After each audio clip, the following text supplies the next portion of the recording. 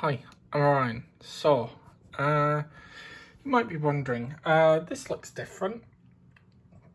This isn't Windows.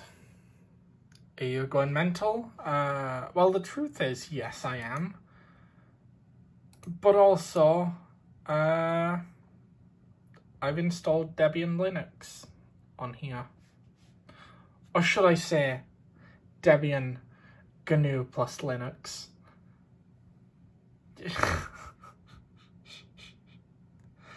yeah, listen, I I too am a Linux meme.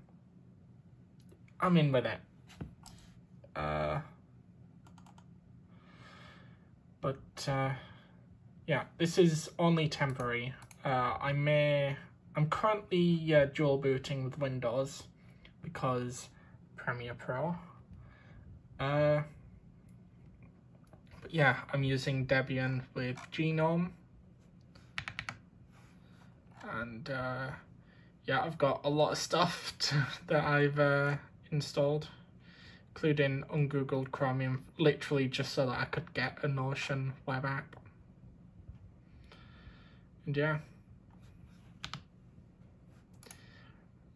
This is uh, what things are like for me right now because I am not looking hopeful at the future of Windows and I might, you know,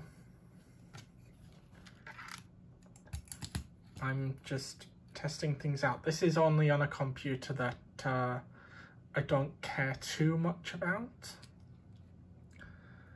but